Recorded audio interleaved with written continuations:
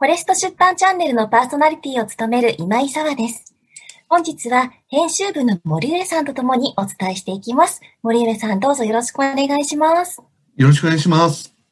はい。そして本日も素敵なスペシャルゲストをお招きしています。本日のゲストは外資系企業の現役社員で、最近世界文化社さんから新刊を出されたビジネス書の作家でもいらっしゃる寺沢信弘さんです。寺沢さん、本日はどうぞよろしくお願いいたします。よろしくお願いします。よろしくお願いします。はい。では、早速なんですけれども、まずは寺沢さん、あの、自己紹介を簡単にお願いしてもよろしいでしょうか。はい。えー、寺沢信弘と申します。えー、僕は1976年生まれの大阪出身です。で、灘高校から東大卒業した後に、え日系メーカーで経理、営業、マーケティング、経営企画といった部門を経験して、で、半年間イギリスに留学した後に、え外資系企業に転職しました。で、2020年から書籍の執筆を開始して、え現在は会社員をしながら作家としても活動しています。ありがとうございます。ご経歴をお聞きしただけでも、こう、灘高校、東大と、なんかもう、誰もが認めるようなエリートコースを歩まれていらっしゃるなという感じがするんですけれども、個人的に気になったのが、あの、半年後のあの、イギリス留学後に外資系企業に転職というお話があったんですけれども、このイギリス留学や転職っていうのはどんな転機が寺沢さんにあったんですか？そうですね。えー、イギリスに留学して、そこから帰ってきた後は本社勤務になったんですけれども、そこですごく仲良くなった同僚が、まあ、先に今の外資系企業に転職したんですよね。で、テラさん、うち受けに来ないみたいな風に誘われたことがきっかけで、えー、じゃあちょっと受けてみようかというふうにこう考えて今に至るという状況です。なるほど。これあの、あれですか、えー、そのイギリスに留学されたのが、えー、おいくつの時ですか？36ですね。36?36 36なんです。これは相当あれですよね。年齢的には、ちょっと上ですよね。はい、もうそうですね。かなり、もうチャレンジするっていうには、ちょっと言ってるなって感じですよね。そうですよね。いや、すごいなあ、もうその時ではご家族は？あの、半年なんで単身で行きました。あ、そうでしたか。はい。ほうほうほう。36で留学行ってくるわ、つって。すごいですね。はい。これはまたその勇気と、その周りの理解と、はい、そのあたりもすごい、あれですね。あの、稀有な、その感じはしますけども、それで半年留学されて帰ってきた、で、えー、その時まだ日系企業にいらっしゃったんですよね。そうですね。帰ってきてから4年間は、まあ、本社で勤務をしていて、で、その間に、まあ、先ほど言った、まあ、同僚とも仲良くなり、で、彼が転職し、僕が追っかけていったと。なるほど。じゃあ今同じ会社なんですね。その。そうですね。はい。それはまたいいですね。はい。ええー、で、これあの、あれですか、やっぱりある程度英語の話とかってなってくるとは思うんですが。はい。ええー、どんなあれですか、英語については。もともとできたんですか？いや、逆です。できないから、そういう留学をしてこう学びに行くところもあったんで。なるほど、なるほど。はい。やっぱり語学留学という感じですか？もうメインとしては。そうですね。半年のうち2ヶ月は向こうで語学の勉強をして、うん、4ヶ月が、えー、向こう、あの、うん、日本反社からこうイギリス反社に行って、そこで、あの、今やっているビジネス、海外のビジネスを学ぶみたいな、そういうプランでしたね。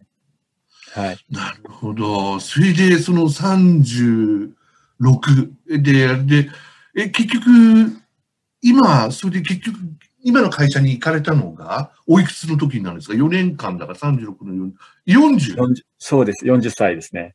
うわ、すごいですね、はい、また。沢ちゃん、すごくない？この40で転職という。すごいですね。なかなか、こう、もう40になると、なんでしょう、もう諦めちゃう人が多い印象が自分の中であるんですけど、うんなんでしょう、36からの巻き返しというか、そこからの、なんでしょう、人生のスピードアップ感がすごく、なんか気になるなって思います。確かにね。これやっぱりなんかその辺の勇気というのは何かきっかけはあったんですか？ちょっとあの、澤さんからの質問に戻りますが、どんな転機があったのかっていうと、やっぱりこの留学が転機で。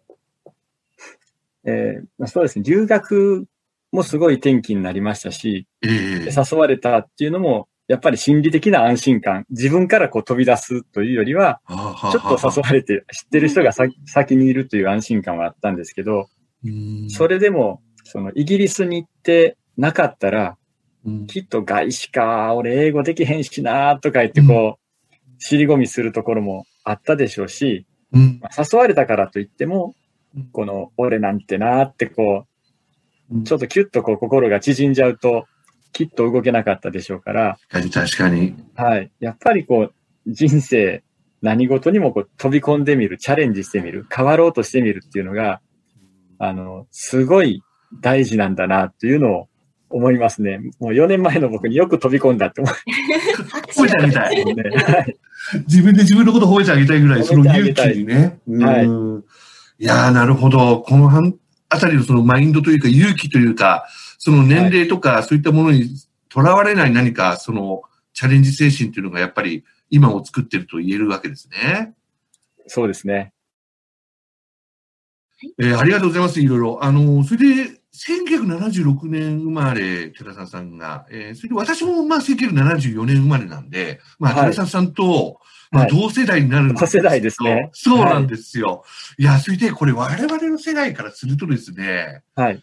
結構意外とその、なんていうのか、転職というか、その辺も、まあ私もまあ転職はしてる、業界内ではしてきた人間ではあるんですけど、はい。周りを見渡すとですね、大学時代のあれとか見ても、まあ、新卒で入ったそのまんまのパターンとか、いうものと、のパターンの人と、転職してキャリアアップを図るパターンで分かれる印象があると思うんですが、いかがですか？ありはいあ。りますよね。あります。日系企業にいたときは、本当に周りを見ても、もう、なんだろう、入って15年とか20年とか、うんもうザラでしたからね。そうですよね。はい。僕も、あの、10前の会社17年いたんですよ。そうでしたか。はい。そうなんです。で、17年表彰とか受けるんですけど、その表彰受けてるのに、ペーペーみたいな感じですよね。40歳じゃまだ、まだまだ若いみたいな。社歴も短い。短い。短い、17年だと短い感じでしたね。17年で短いんですね。はい。でも、いや、これでもあれですよ、寺田さん、我々よりもっと若い世代っていうのは、もう全然マインドというか、そのあたりは違いますもんね。やっぱり見てて思いませんか？あ思いますね。うんあの、まあ、僕も、一社目はすぐに変わっちゃったとかところがあるんですけど、ええええええはい。やっぱり会社を変わろうとしたときに、うんその情報とか手軽さっていうのがもう今の時代と全然違いますよね。転職情報がなかったですもんね。なか、ったですよ。それこそデューだとか、なんかいろいろな情報誌ありましたね。なんか、はい。リクルートさんから出てるものとか、それぐらい、あと、あの出版業界だとですね、日曜日の欄にですね、はい出版業界が大体、あの、朝日新聞に載る、あの、日曜の求人欄があるんですけど、はいそこをチェックしたりとか、はいそういう感じはでしたからね。そう。だから今考えられ、ないですよね。そう、ちょっとなんか嫌だなと思ったらスマホ開いてすぐ見つけられちゃうじゃないですか。確かに確かに。その手軽さっていうのは、まあ、羨ましい部分もありますよね。なるほどね。はい。まあそこはもう、でも寺澤さんはそこを突き破ったと言えるわけですけどね。そこはね。はい。遅かったですけど。遅かった。実際そうですか？その今、あの、会社って、えっと、まあ、えっと、外資にいらっしゃって、はいえーその転職組としては、年齢としては、40で転職してきた人間っていうのは、やっぱり、かなり上の方になるんですか？転職組としては。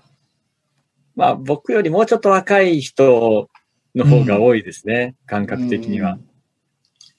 やっぱり30代。30代ぐらいがメインゾーンかなっていうふうには思いますね。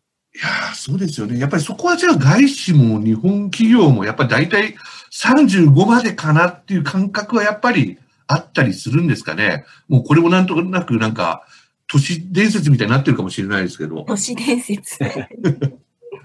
どうなんだろう。ただ外資、外資だと本当に年齢を見てないかもしれないですね。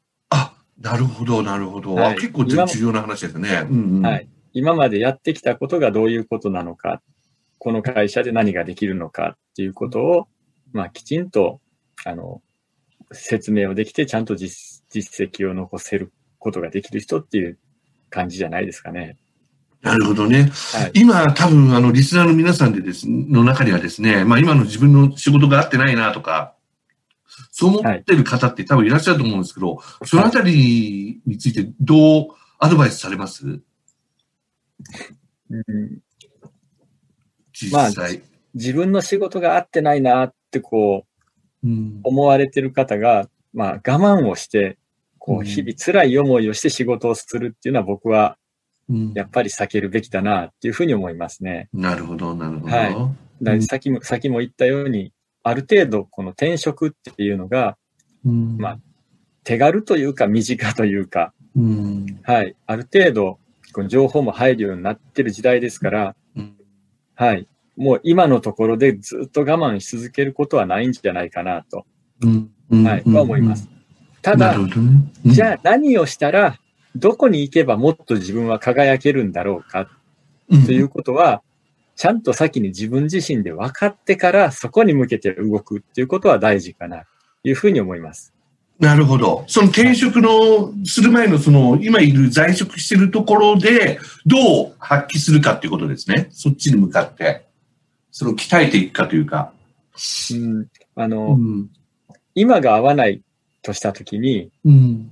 合わないところですごく頑張っても、うん。あまり結果とか出ないと思うんですよ。うん。うん。うん。うん。はいですから、それを自分のパフォーマンスが発揮できるところ、合うところにちょっとずれた後に頑張ればすごく伸びるんじゃないかなっていう感じで。なるほど、なるほどね。はい。なんかその寺澤さんのお話を聞いて、なんかちょっと例が変かもしれないんですけど、なんかポケモンを思い出したんですよね。なんかポケモンって、こう、技の属性があるじゃないですか。火、炎とか、水とか、電気とか。例えばはピカチュウは電気っていう属性なんですけど、あの、水のポケモンにはすごく強いクリティカルっていう効果は抜群だって出て,、出てくるんですけど、地面、地面っていう属性には、はいあの、効果がないみたいな風に出てきちゃうんですよね。だから多分、こう、今のいる場所でなかなか成果が出ない苦しいって頑張ってる人は、もしかしたら、あの、地面相手にピカチュウなのに 技出してるみたいな、なんかそんな感じなのかななんて、水ポケモンに出したらクリティカル出せるよ、君みたいな、なんかそんな、思いをなんとなく感じました。例えがちょっと微妙で申し訳ないんですけど。いや、でも、近しいと思います、本当に。うん。はい。避ける場所、人にはその得意なところ、得意な属性があって、その力を発揮できる場所っていうのは必ずあるはずなんだと。うん。それが今の場所じゃないんじゃないって言ったときに、はい。すぐその場所を変われるかどうかっていうのは、人生を有意義にしていける、していけるかどうかっていうところにかかってくるかなと思います。なるほどね。それもしかも、あの、寺澤さんの場合には言えることがただ一つ、もう一つあって、そこは年齢の縛りっていうのはあまり気にしないってことですね。気にしないです年齢ね。の縛り。うん。はいもう40で最近、転職ですもんね。でも人生ね、なんか、人生100年だって言われてる時代ですからね、まだはいはい折り返しにも来てないわけで。はいおっ。しゃる通り。これからますます伸びていそうくそうですしね。そうです、そうです。あとはやっぱり、ね、何かをするにしても、今が一番若いじゃないですか。はいはいはい。ははいい。もう、もう、もうちょっと早くしといたらよかったっていうぐらい言ってももう戻らないんで、これから先何をするかにフォーカスした方がいいかなというふうに思って生きてます。はい。いや、素晴らしいお話ですね。ありがとうございます。ありがとうございます。えー今の会社ではどういったキャリアを経て入られてる人って多いんですか？そうですね。うん。コンサルをしていた方とか、あと経営企画的なお仕事をされてきた方っていうのが比較的多いような気がしますね。なるほど、なるほど。はい。ただ、まあ結局そういった職種の人っていうのは、うん、まあ職種かな。どんな職種かっていうよりも、誰かに言われた通りの仕事をするっていうのではなくて、自分の頭で考えて動くとか、分析をして提案するとか、そういった経験をバックグラウンドとして持ってる人っていうのが多いかなというふうに感じます。なるほど、なるほど。その、いわゆる仕事を与えられてどうこうじゃなくて、自分で仕事を作ってくるぐらいの、はい。あの、能動的な方っていうことが多いっていうことですね。そうです、そうです。やっぱり、こう、目の前にこう来たもの、これ仕事でも何でもそうですけど、どんなことであっても、目の前のことを面白いと思って、もう興味を持てる人だったり、はいはい、もうその興味をとか探求心を持って、それに対してすごくいろいろと深く学ぼうとする姿勢を持っている人だったり、うんうん、あと、まあ、そうしたことでこれをやったらうまくいくんじゃないってこうででなんですか出てきた回に対して、すぐに行動を移せる人だったり、というタイプの人が多いかなと思います。なるほど。それはまあ共通点という、今のあの外資系の会社の共通点という感じですね。はい。と、いや、これってあれですよね。それこそ先ほどのちょっとあの、前のお話になりますが、それこそ今の会社でどうこうって、ちょっとまあその環境のせいにしている部分っていうのがあるかないかっていうのも結構大事かなと思う。なんかちょっと今の話聞いてて思ってて、例えばその外資系のその企業に入ったとしても、自分の好き嫌いで何かその判断しちゃうのは間違いだってことですよね。どんなことがあっても目の前でのことを面白いと思っていくっていう、その姿勢が大事だっていうことに聞こえたんですが、そういう解釈でよろしかったですか？はい。多分、あの、受け止め方がうまいと思うんですよ。そういう人たちって。まあまあ、真正面からぶつかったら苦しいと思うこともな、どうにかこう思考をちょっと違う方向から見てみると、うん、楽しい、楽しさっていうのが出てきたりとかね。うん、ね、うん、なんだろう、昔聞いた話でこうお、お皿洗いだったりしても、それが楽しいかどうか、楽しい思えるかどうかみたいな。なるほど、なるほど。なんか、西田の弟子か？なんかで、ひたすらつまらないと言われている掃除をしまくって、すごく下の位だったのに、掃除をし続けた結果、すごく高層になったみたいなお話があって、うん、なんか、つまらないと思われていることでも、一生懸命そこになんか楽しさだったりなんだりを見出していくと、すごいことになるよっていうなんか、逸話というかなんかお話があって、ちょっとそれを思い出しました。そうですよね。それになんかちょっと被りますよね。はい、何かその、こちら側の意識っていうのは結構大事なのかなっていう姿勢というかね、はい、心の持ちようとか取り組み方の姿勢っていうのが、今お話伺ってて思いましたね。はい、実際、そう、多分今の会社に入られて、あ、こういうことやりたいなって思ってたのと、ちょっと違うことが目の前に来たときに、どう考えるかって話ですよね。実際、でもやりたいことばっかなわけじゃないですよね、やっぱり。どう、どうなんですか、今実際。寺澤さんの今の会社では。まあ、寺澤さんが。ええ。まあ、やりたい、たいだけでは仕事っていうのは絶対進まないですから、うんうん、はい、やるべきことっていうのも当然ありますしね。うん、はい。ただそれを嫌やなと思ってやるのと、面白いって思いながらやるのでは全然結果もスピードも違ってくるかなと思いますから、はい。基本的にはポジティブに受け止めて、はい、やっていってますね。なるほどね。まあそういう方が周りも多い。質問してもいいですか？はい。なんかちょっと意地悪な質問になってしまうかもしれないんですけど、あの、はい、置かれた場所で咲かなくてもいいっていうお話と、あの、目の前のものを楽しめっていうお話が、若干こう、え、どっちにすればいいのって迷ってしまう人っていうのが中にはいらっしゃるかなっていうふうに思うんですけど、そのあたりはどんなふうに、こう、なんでしょう、気持ちの整理をつけていくといい感じですかね。うん、僕はもう心がどう思うかかなというふうに思いますね。あとは本当に合う合わないっていうのもあるかなと思います。あの、基本的に自分が対応できるスキルの範囲内で思ってることと違うことが来たとしても、それなりに楽しめると思うんですけども、例えば、あの、ロールプレイングゲームで言ったら、戦士に魔法を唱えろとか、魔法使いに剣持って前線で戦えみたいな、もう無茶言わないでくださいよみたいな、そういうアサイン。で、そこですごくもう頑張って、もう楽しみたいし、頑張っ、頑張って努力したけど、それでも結果が出ないというようなところって絶対あると思うんです。はいはいはい。魚に木登りしろって言っても無理なんです、みたいな。うんうん、はい。そういうような場所に、をあって、えー、それでもそこで頑張り続けないといけないのかっていうと、それは違うというような思いで書いてます。なるほどね。はい。ありがとうございます。ありがとうございます。あの、マインド面についてはそういったその共通点っていうのがあったと思うんですが、例えばその外資系企業を目指そうと思っている方がですね、何か持っておくべきスキル、磨いておいた方がいいスキルとかって何かあったりします？うん。必要なスキルで言うと、うん、やっぱり数字に強くなることと、あとはその数字から読み解けるものを相手にきちんと伝わるように説明できる力。うん、で、まあ、ひいてはそそれをすることで、その周りの人たちがこう動いてくれるというような、周りを巻き込む力かなというふうに思います。なるほど。はい、やっぱりその後には、やっぱりご自身の中でも、まあ、それを意識されていると思うんですが、まあ、会社としても、やっぱり、この一人では何もできない、まあその中に、そのやっぱチームといったものをすごい重視しているということなんですかね、会社としても。はい。うん。あの、まあ日系企業だろうが外資系企業だろうが、仕事において自分が動くっていうことはまあまず当然であって、で、その上で一人ではできない仕事ってやっぱり多いと思うんですよね。うんうん、で、それを周りときちんと協力してとか、周りを巻き込んで大きな渦を作って仕事をしていく。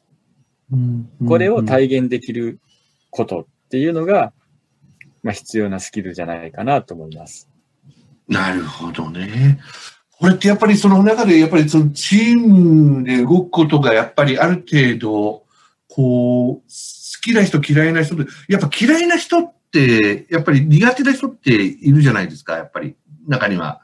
その、まあ今の会社にはいないかもしれないですけど、まあそうなると、やっぱりそうなってくると、やっぱりその力っていうのは磨いていかなきゃいけないよってことですよね。周りを巻き込む力っていうのはやっぱり。うん。うん。まあそれでも得て増えては当然あるとは思うんですけど、うんうん、その、一人がこう旗を持ってバーッと、例えば周りの十何人を巻き込んで、で、こう仕事を振っていくわけじゃないですか。で、その中でこう振られたある部門の仕事に対してコツコツと結果を出すことができるっていうのも、やっぱり一つ、すごいスキルではありますしね。ねただその人がまた自分たちの仕事を改善したりとか、もっとこうしていきたいと思った時に、今度は自分が旗を持つ時も来るかもしれないですよね。うんうん、はい。まあその時に臆せず、やっぱりその旗を持って、今度は自分が巻き込んで何かをやっていければいいのかなというふうに思いますね。なるほど。ありがとうございます。ありがとうございます。ありがとうございます。えっと、この間の5月1日に寺澤さんから、あの、世界文化社さんから新刊 GAFA 部長が教える自分の強みを引き出す4分割ノート術という本を出版されましたが、こちらは具体的にどんな内容なんですか？はい。えー、例えば営業が全く合わない人が営業に配属されるってよくあることだと思うんですけど、えー、はい。この合わないところで結果が出ない。で、結果が出ないから同僚に馬鹿にされたり上司に怒られたり詰められる。まあこういうことって結構周りで見たりとかするかと思うんですけど、まあ、そういう人たちにね、送りたい。早くそんなところから逃げてしまえばいいのに、石の上にも3年と言いますからとか、結果が出ないのは自分の努力不足のせいなんです。ここで結果を出せたら動きますって言って、こう、なかなかそこから動こうとしない人って結構いるんですよね。うんうんうん、でも本当は人って得てとか増えてがあるわけですから、うん、今の時代置かれた場所で我慢をしなくてもいいんですと。うん、自分が最高のパフォーマンスを出せる場所が必ずどこかにあるから、うん、そこで働けるように、まず自己理解を深めていきましょう。ということを、えー、説いてる本です。でそのために十字を書いて、はい。で、その縦軸に好き嫌い。うん、で、横軸に得意、苦手と書くことによって、こう、まあ、ノートをこう、線では、十字で分けると4分割になりますよね。はいはいはい。はい。これを4分割ノートと言ってるんですけど、うん、で、そこに自分の経験、スキル、自分は得意だけど、あんま好きじゃないものは何だろうとか、嫌いで苦手なものは何だろうって、こう、置いていくと、今やってることっていうのが、自分はこの4象限のどこに位置してるんだろうか、っていうのがまあ見えてくるわけですけども、それをどうやったら、こう一番右上の得意であり、好きであるところに持っていくことができるのか、そこで働ける、働くことができるのか、というような話を、こう、自己分析を進めて、そこに人生を導いていこうというような本ですね。なるほど。はい。これはあのもう、それこそ本当にすごいシンプルで分かりやすくて、もう自分の棚卸しを、その4証言で、えー、はい、こう、分析しましょうと、散りばめて、えそれをどういうふうにやっていけばいいのかっていうことを、あの、自己理解を深める、あの、ツールになりそうですね。そうですね。これ本当にこれをやっていただくことによって、自分が、その、強みとしていたものは何なのかっていうことに改めて気づいたりするかすることも多いですね。なるほど、なるほど、はい、意外と息を吸って吐くようにできてしまうことって、そこ、明確にこう文字化していかないと強みって自分で気づかなかったりしますから。確かに、確かに。はい、ちなみに、寺澤さんはご自身で書いてみて、あ、これってこんなのあったんや、みたいに思ったことってありますか？僕は文章を書くことですね。はい。僕、本を初めて書いたの43歳ですからね。ああ、そっかそっかそっか。おおっていう、もう本当に今まで気づかなかったのかって感じですよね。なるほど。今まで何かあれですか、はい、なんかそのブログとか、なんかノートみたいなものにこう、アウトプットはされた、されてきたんですか？特になく。あ、ブログを3年間ぐらい書きましたね。でもそれも40歳ぐらいで始めたものだったんで、はい。すごく文章書き出したのも遅いし、それが得意なんじゃないかなって気づいたのも遅いみたいな。なるほど。はい。それだと言っても、その転職外資に転職されたのも、まあ年齢も遅いというところで、はい、そういう意味ではもう本当に寺澤さんからお話伺ってて、今日はやっぱ改めて思ったのは、もう年齢なんて関係ないぞっていうところですね。なんか。そうです。本当に、今、今気づいたら、それを今からやればいいじゃないっていう。うんうん、はい。それを体現していきます。すごいなって思うのが、こう気づいたら早いですよね、寺澤さん。あの、はい、もしかしたらちょっと一般の方よりも、俺って書くの得意なんじゃって気づくのが遅かったのかもしれないんですけど、気づいてから本も何冊も出されてますよね。すごい短期間で。半年で3冊出しましたね。聞いたことないですよ、半年で3冊だなんて。はい。いや、素晴らしい。はい、ある時はもう3冊同時並行で書いてましたからね。よくわかんなくなってましたね。でもやっぱそれこそがスイートスポットが出せる、やっぱ力っていう感じなんですかね。はい。やっぱ苦にならなかったですもんね、字を、そんだけ書いて。はい。いやいや、本当に、あの、興味深い、あの、お話なので、で、まあね、ぜひね、最新刊の、えっ、ー、と、チャプターね、この URL に、あの、貼っておくので、ぜひ、あの、チェックして、ね、リスナーの皆さんも、あの、その自分、自己理解のね、ためにご活用いただけたらな、というふうに思いますね。はい。まだまだ寺澤さんにお聞きしたいことあるんですけれども、あっという間にお時間になってしまいました。あの、最後に寺澤さんの方からリスナーの皆さんに一言メッセージをお願いいたします。はい。えー、繰り返しになりますけれども、え今の時代、置かれた場所で咲かなくてもいいと。自分が最高に輝ける、えー、仕事領域、スイートスポットっていうものをぜひ見つけ出していただきたいと思います。はい、ありがとうございます。ありがとうございます。実は私もあの、寺澤さんの著書、愛読してるんですけれども、最高の仕事領域、あの、スイートスポットですね。この見つけ方も公式化されていて、誰でも簡単にできるようになっているので、そこもすごくおすすめポイントですし、その他にも、日々の仕事の向き合い方であったりですとか、思考法、あとコミュニケーションについてなど、いっぱいですね、盛りだくさんの内容になっているので、こう、なんか本を読むたび最近仕事が楽しくなっています。ぜひ、あの、ボイシーのリスナーの皆さんも、 GAFA 部長が教える自分の強みを引き出す4分割ノート術で、ご自身の可能性にチャレンジしてみてください。寺沢さん、森上さん、本日はありがとうございました。ありがとうございました。この番組では、編集者や著者が本作りの裏側や最新のビジネス情報など、リスナーの皆さんにとって役立つ情報をお届けします。また明日もお楽しみに。フォレスト出版チャンネル、知恵の木を植えるラジオをお聴きいただきましてありがとうございます。音声プラットフォームボイシーでは、平日毎日新しい放送を公開しています。ぜひ、ボイシーのフォレスト出版チャンネル、知恵の木を植えるラジオをチェックしてください。